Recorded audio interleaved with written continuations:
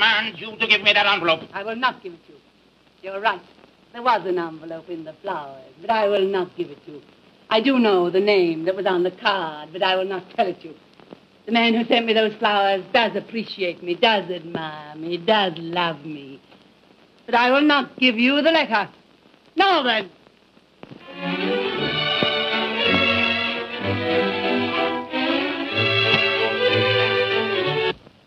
I've even thought if I ever could find out what kind of a man it is she's really longing for, I would try to be that man myself. Now, what kind of a man? I know what kind of a man. So you decided to be the new man yourself, did you? If there must be a new man, better the husband than a stranger.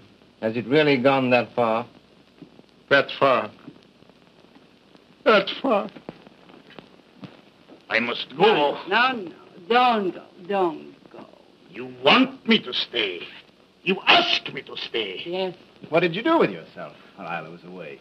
nothing. Nothing? Weren't you bored doing nothing? No, Anybody call? no, Nobody at all? no. Queer you are. If I said I was alone, I was alone. Yeah, you were alone the whole time, huh?